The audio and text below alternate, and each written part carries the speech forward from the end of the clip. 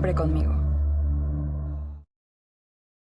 hablando, siempre me agarran hablando aquí porque estamos, este, pues, el día de hoy, ay, es que ya es viernes, oigan, ya es viernes, bueno, no sé qué día lo escucha usted en el podcast o lo vea en el YouTube, sin embargo, en, ADN 40 Radio, en, en vivo, pues, si estamos aquí con Héctor Cruz, quien es médico veterinario, especialista en etología, sobre el Día Mundial del Perro. Vamos a hablar de las ¿Tienen emociones las, los perros?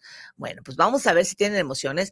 O, yo digo, ay, es que se porta inquieto como mi hijo. No, creo que está más inquieto que mi hijo. Digo, creo que la del problema soy yo, me diría César Millán. Pues mira, hablando sobre las emociones de los perros, digo, a mí sí me gustaría saber, porque leyendo sobre eso, en algún artículo decía que los animalitos, los perritos sí tienen algunas enfermedades mentales, pero que se las provocamos nosotros. Pues ¿quién más? Los humanos. ¿Quién los humanizamos? Ahorita le vamos a preguntar una buena pregunta. al, especialista, pero por lo pronto tú nos traes, Rebeca Ramos, un, una bonita dato efeméride que nos, ¿qué nos vas a decir?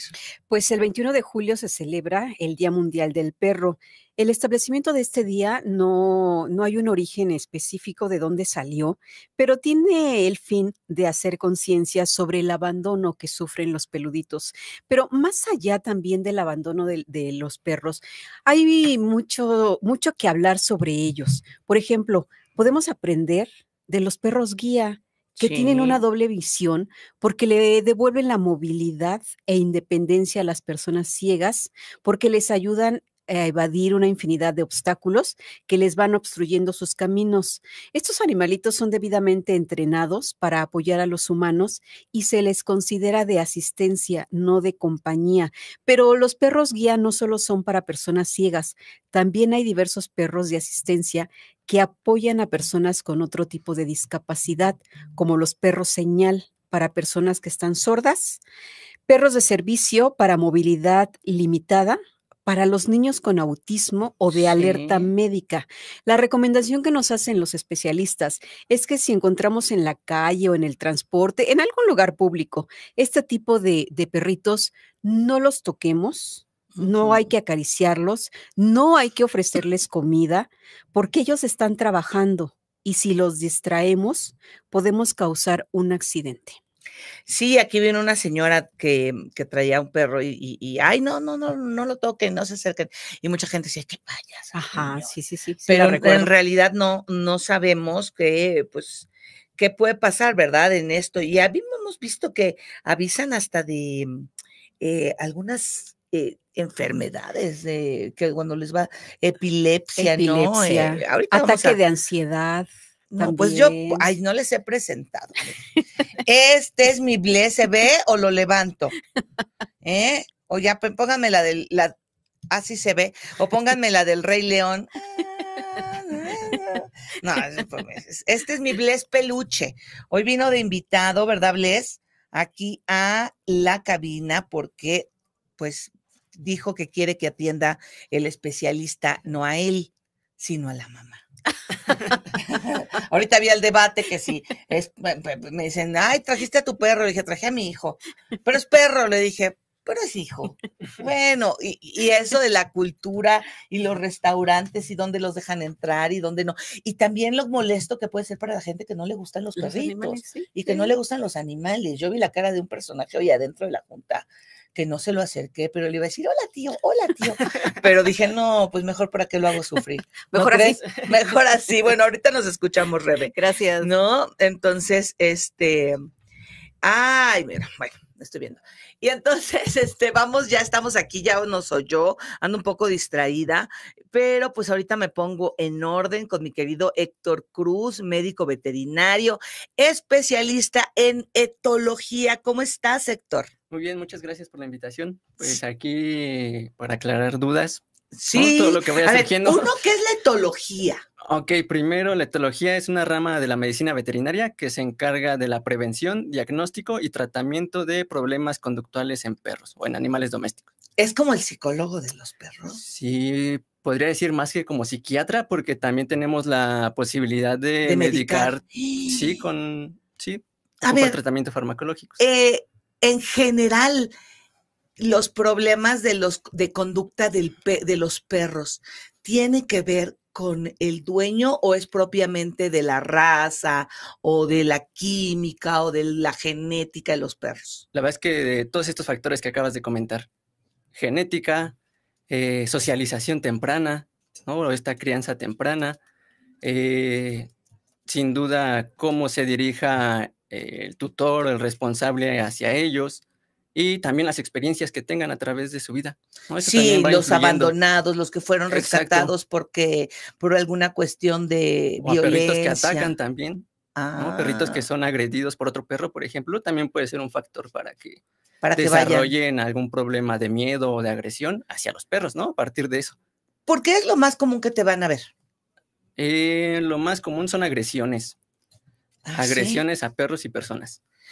Pero a ver, eh, ¿van perritos que fueron agredidos o van perros que son este La verdad es que de ambos, agresivos? ¿Qué van más? eh, agresivos. Agresivos, o Mm, sea, que sí ya presentan agresión hacia algunas personas en particular o hacia todas o hacia cualquier perro. El programa de hoy, como esto de intensamente, que está de moda, llamamos los perros y sus emociones. Entonces, bueno, ese fue el título que le pusimos. Sin embargo, pues no, no, no sabemos si tienen emociones, pero sí tienen enfermedades mentales. Sí, ¿Cuáles son las más comunes? pues la agresión está eh, clasificada como un diagnóstico Aunque no sea ira. y justo esa es parte de nuestro trabajo, ver qué motivación es la que hace que presenten esa agresión. Y una motivación pudiera ser la ira, No me digas. otra podría ser el miedo. ¿a Entonces, poco? justo esa es parte de nuestro trabajo, identificar el estado emocional que hace que presenten ese comportamiento, ¿no? Esa agresión. Mira, entonces ya que estamos en eso, hablamos de tristeza. Hay algunos perros que se ven súper felices y otros que sí se les ve que están tristes. ¿Qué, Sí. qué detectamos? ¿Qué, qué pasa ahí? Eh, pues es que las personas en particular, o los humanos, tenemos la, como fuimos evolucionando con ellos eh, a través de la domesticación, entonces somos muy capaces también de leer el lenguaje corporal de los perros, aunque no como de forma innata. Entonces, por eso podemos percibir esa parte de que no están bien o que están diferentes o que están tristes. O sea, si hay tristeza. Sí, y por eso nos damos cuenta a través de sus expresiones faciales. Por eso, pues nos percatamos, ¿no? Que, que algo está raro con ese perrito, ¿no? Que se ve menos activo, eh, su lenguaje corporal y su expresión facial, que es lo que las personas leemos, por así decirlo, o identificamos en ellos y que ya hace que nos demos cuenta.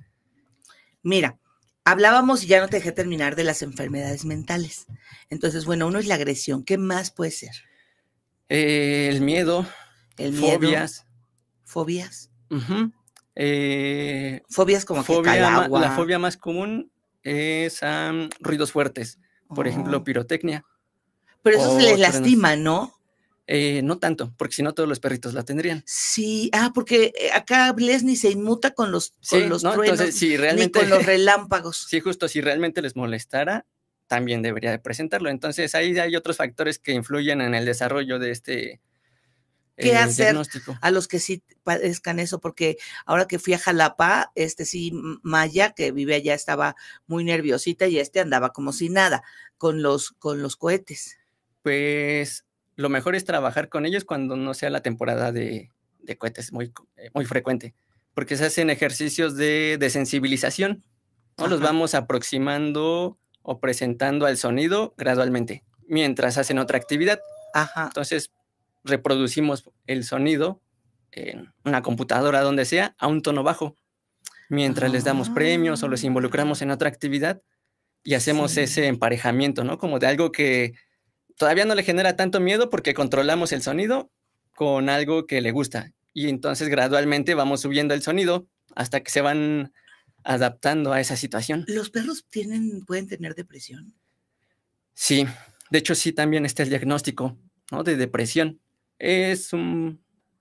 mm, Se dice que para llegar a este diagnóstico deberían de al menos pasar seis meses con cambios de comportamiento, que ya no quieren hacer lo que antes les gustaba, que están menos activos que antes, ¿no? A partir de cierto evento, pero sí, también pueden tener depresión.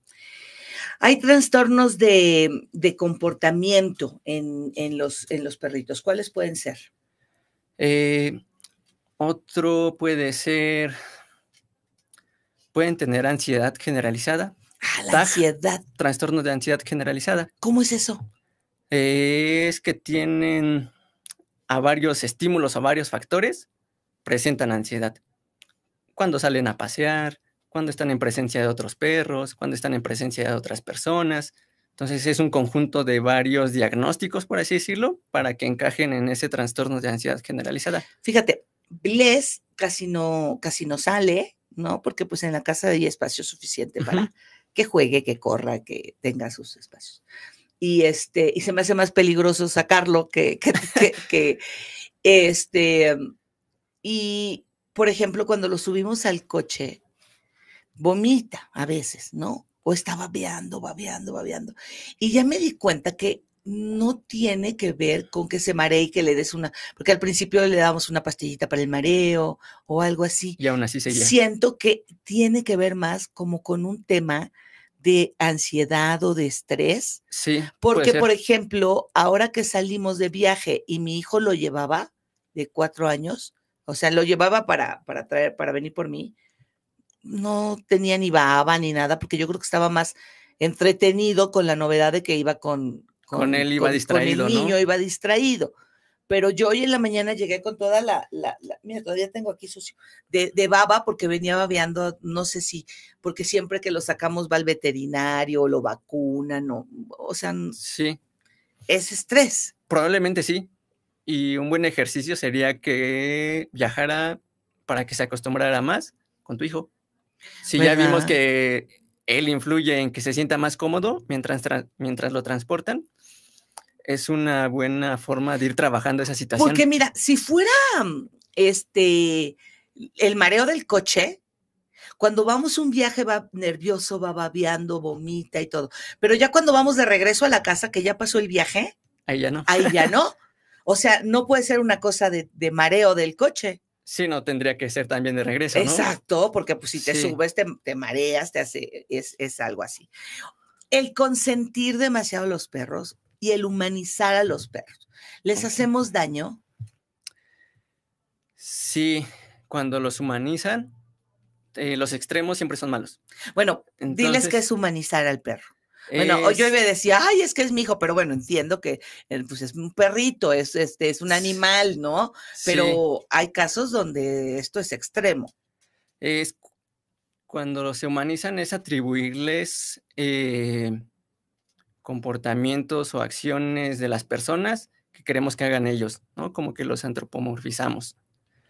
Y pues ya no está tan bien porque el no permitirles expresar sus comportamientos normales o naturales, por ejemplo, explorar, olfatear, interactuar con otras personas, con otros perros, eh, sí ya caería en algo que les afecta. ¿Violencia?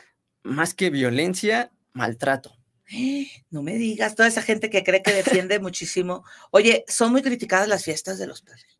Sí, fíjate que yo le celebré a mi gato su fiesta y pues le hice un, le compré una lata de alimento húmedo y ese fue su pastel. Sí, así yo le hice, le puse su, su, lata y le, sí, una, velita y, obvio no, se lo comió todo porque sí. Pues, no, ajá. Em, pero por ejemplo, ya el que no le permitas hacer otras cosas durante esa fiesta y que solo sean las fotos y que esté ahí bonito, ahí sí yo creo que ya no es tan bueno. No lo puede celebrar, la verdad es que desde mi punto de vista no es algo malo. Pero el, puedes invitar a algunos amiguitos si es que tiene y que juegue con ellos. ¿no? Eso sería una muy buena fiesta para él, ¿no? No al contrario de tenerlo ahí sentado y espérate a todas las fotos y ya se termina y ya. Ay, ya no, nada más era, con sus cosas. Nada más era eso. Mira, fíjate, yo no tenía hijos. Y entonces, pues, Bless era, es mi perrijo desde, desde antes. Entonces, a mí se me antojaba llevármelo a pasear ¿no? Y ya ves que hay carriolas de, de perros, Sí, ¿no? La verdad es que no la compré porque dije, van a decir que estoy loca, que como no tengo hijos, que, pero yo lo hacía más porque hay ciertos lugares donde no te permiten entrar sí con ir el perro, ¿no? sí. Pues lo ideal es que el perro haga ejercicio, que camine, cuidar, ¿no? Es- Sí, es Depende el, el- el ciertos lugares. Pero dije, no, o sea, este, pues no, porque me van a decir que estoy loca. O que va a decir, mira, pobrecita, como no tiene hijos, este, trae ya hasta la carriola, ¿no? O luego traen al perro en la carriola y al niño con la correa, ¿no? Entonces, bueno, pues ya, ya ahora digo, ay, no, que voy a estar gastando en una carriola, ¿no? Para el, para el, para el perro, pues sí compré mi bolsa, que es donde saca Ah, la, la cabecita. No, Pero la sociedad sí se encuentra muy, tra- ¿o ¿cómo la ves? Mm, pues es que hay de todo, ¿no? Te encuentras de todo. Eh, creo que sí, caer en ese punto sí ya sería algo de maltrato. ¿no? El que- llevarlo, porque, el pues, llevarlo, ¿no? lo- Porque también, ¿para qué lo llevas a un lugar que no está diseñado para perros? Claro. ¿no? Entonces, si va a estar ahí sentado tres horas esperando a que tú hagas no sé qué, pues mejor no lo lleves, ¿no? claro, claro. Y que no le permitas caminar cuando es un animal sano, Exacto. que lo lleves en la correa, entonces no tiene sentido. Y se puede utilizar la carriola, perdón, pero en casos particulares, ¿no? Ya perritos que tienen algún problema médico de movilidad ¿no? y que pues necesita a lo mejor salir y ver, estar ahí distrayéndose un rato. eh, Yo, pues, por ejemplo, duda, tengo mi ¿no? bolsa y digo, no la, no la utilizo, pero me dice mi esposo, llévatela por si una emergencia tienes que bajarte a un lugar, no lo Sí. dejas dos minutos en el carro solo, no, te, pues, lo llevas ahí y ya, pero pues aquí entro, pues, este, entras caminando, entra, Sí, este, y eso le permite justo mostrar sus comportamientos naturales, porque mientras va caminando, se acerca y olfatea un arbusto, Todo, ¿no? sí. Marca si es que, No, no, es algo que- que le gusta. oye, eh, eh, ¿por qué se la pasa marcando este, Está, este niño? está castrado, esterilizado. sí, Y hay veces que normalmente es por estimulación hormonal y no necesariamente cuando se esterilizan disminuye, porque luego queda como un comportamiento aprendido.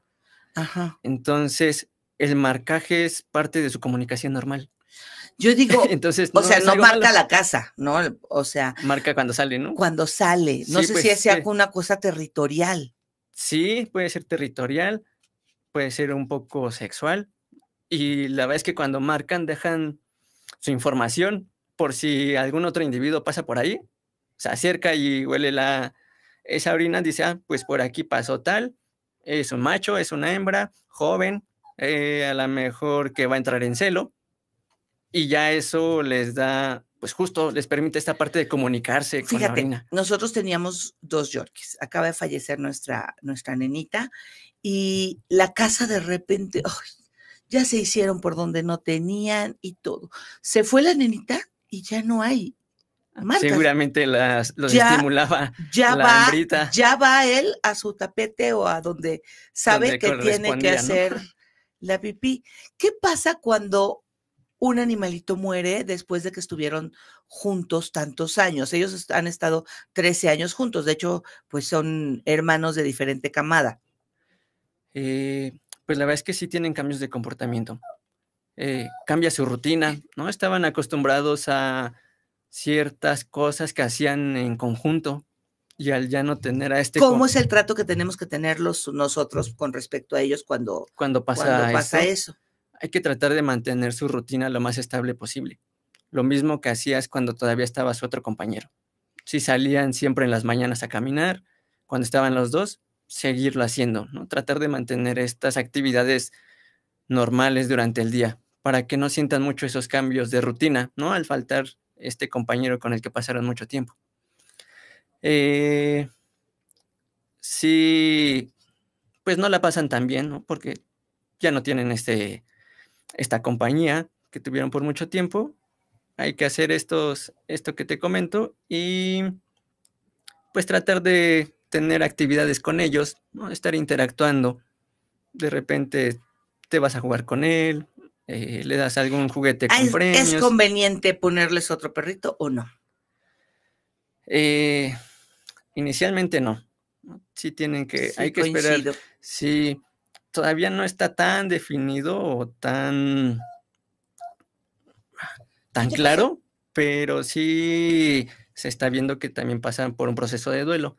Sí. Entonces hay que darles oportunidad ¿no? de que pues pasen esta situación y ya después evaluar, ¿no? Acercarse con el, con el médico, el especialista y ver y valorar ¿no? qué tan buena idea o si es el momento adecuado para que llegue otro compañero. Sí, yo, yo lo veo porque en el sentido de que cuando no estamos, que se quede, eh, se quede, por eso llegó la nena, ¿no? De que se quedaba solito.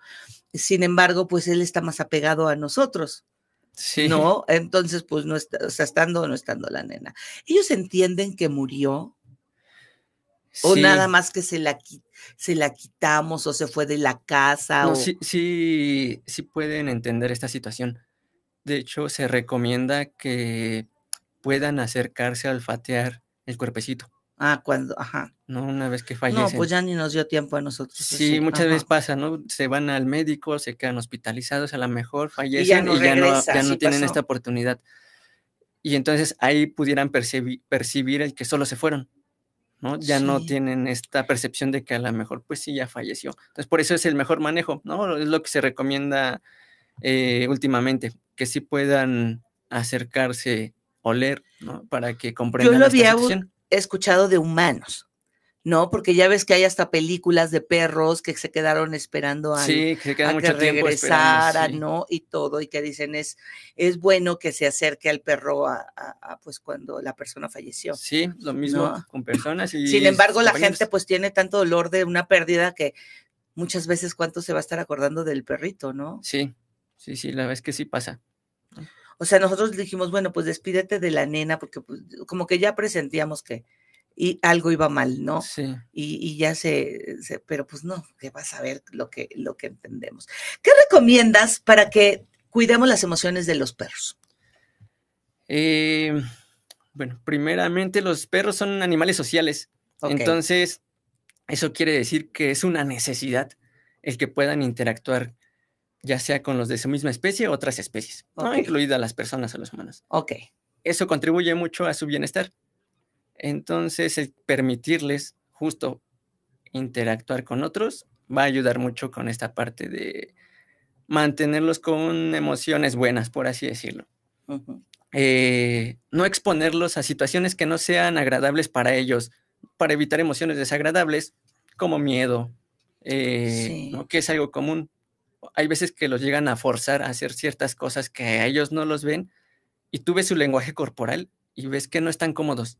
Entonces ahí ya no estás eh, contribuyendo a esta parte de las emociones y que se sienta bien. Entonces no hay que forzarlos a situaciones que no les gusten, permitirles interactuar, ¿no? permitirles olfatear, explorar, explorar perdón, eh, va a hacer que ellos se sientan cómodos, ¿no? porque hacen o muestran comportamientos que son naturales de ellos y eso contribuye justo mucho a su bienestar y que se sientan bien consigo mismos.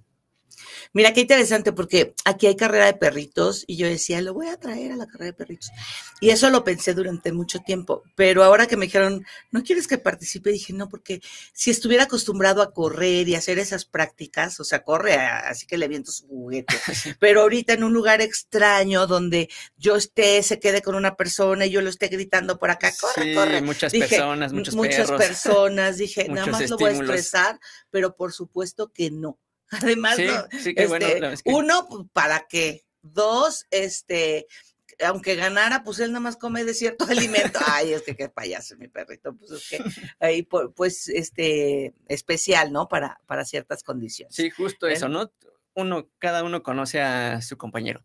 Ajá. Entonces, si ya sabes que probablemente no va, a no va a disfrutar eso, ¿para qué lo llevas? Sí. ¿No? Bueno, pues mira, te vamos a traer ya con más calma, con, ah, para que nos des tips, para que nos des cosas de qué hacer en caso de emergencias, a dónde correr, a dónde acudir y todo. Sin embargo, Claro pues sí. invitamos a que te sigan y pues a que te sigan en tus redes sociales. ¿Cuáles son tus redes sociales? Eh, solamente en Instagram, que es etólogo clínico Héctor Cruz, así me pueden encontrar. Bueno, pues ahí en, en Instagram, que es la, la red para los más jóvenes, ¿no? sí, Bueno, también el TikTok. pues. Ya tienes que abrir tu TikTok. sí. Sí, sí, ¿no? es que no soy tan activo en TikTok. Sí, ya. Eso es lo malo. Bueno, pero pues ya. Muchísimas gracias. No, Por haber estado con Muchas nosotros, gracias por la invitación. ¿eh? Y bueno, festejemos este Día del Perro, que es el día 21, 21. con cosas saludables para los perros. Vamos a poner unas fotos de perritos amigos de este programa. A ver, ponlo sin G. Ah, bueno, pues empezamos con mi Bless peluche, ya luego me van a hacer burla. Tú veme diciendo, porque yo no estoy viendo, querido Inge. Aquí, per de Amanda, ¿verdad? Maya, que está en Jalapa, ya no ve a mi Mayita, pero está muy feliz y muy consentida. Ay, también otro perrito de Amandita, ahí está Pat, y creo que echa mucho perro. Mi nena, que ya se nos fue, pero sabemos que desde el cielo, pues nos está viendo. Lola, Lola está en Mazatlán, ay no, ella vive en la vacación, mi Lola, va en el pa por la playa y todo. Taco está en Jalapa, saludos a Jalapa. Ese es mi sobrino, mi sobrino Taco. Él salió medio feíto, pero es para que mi hermana. No, estás hermoso, bello Taco, hermoso. La nana, la nana vive en Guadalajara y ella es mi sobrina. ¿Y ya son todos? Yo creo que ya no, igual Inge. No, ya no. Se fue.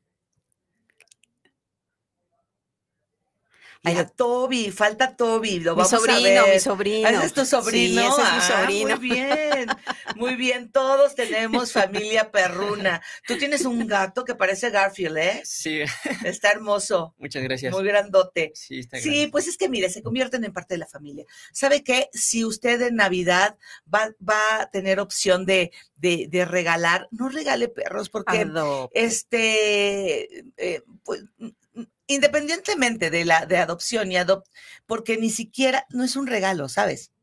O sea, que hagan conciencia la adopción en otro momento, ¿no? Que no vean, ahí es el, el de Navidad. No, porque luego los dejan, no hacen conciencia de todo lo que se, lo que se requiere. Usted no sabe el, el, el planear vacaciones teniendo perrito, todo lo que Es implica, porque no lo puede dejar uno donde sea, con Sí, quien sea, aunque haya lugares, dependiendo las condiciones del perro, las costumbres del perro, y todo eso es una responsabilidad. No regale perros, aunque sean adoptados, ¿no? Eso es, eh, haga la experiencia con los niños de ir a buscar, de ir a adoptar y ver. A ver, ¿qué pasa? Eh, al final nos despedimos con eso, este, Inge. Este. Datos. Datos. Pues yo eh, tengo mi dato para si alguien está buscando un nuevo compañero, puede ayudar cambiando la vida de un perrito que fue rescatado del metro y se pueden adoptar estos peludos en el Centro de Transferencia Canina, un espacio que fue abierto desde el 2017 y se dedican al cuidado, la re- rehabilitación y adopción de los perritos. Este centro tiene ahora una campaña que es Adopta un viejito, aquellos perros adultos que tienen entre 9 y 11 años, que son los que prácticamente ya nadie se lleva, pero que están esperando tener una familia todavía. Estos perritos están esterilizados y están listos para ser adoptados y tener una mejor calidad de vida. La próxima semana les vamos a presentar una, una nota acerca de eso. Y antes de, de despedirnos, les tenemos esta, sí, ay, esta cosa, qué rico, no le dé palomitas a los perros, esto es para humanos. Está por estrenarse eh, este Deadpool y Wolverine.